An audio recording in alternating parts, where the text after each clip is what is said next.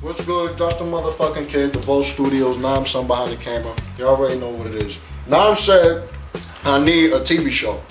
And he's right.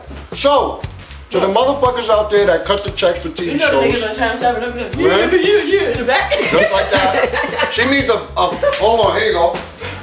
Hold on, hold on. This is how they, this is how they do. Give me, give me. When you watching Channel 7 and the niggas trying to report, then people come up like that, they do this. Y'all like that, right? Alright?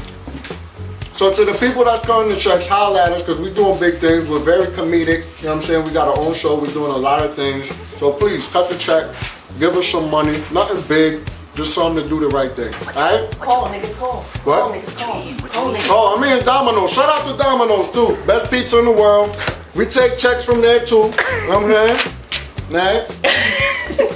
751-3906, man. Holla at us.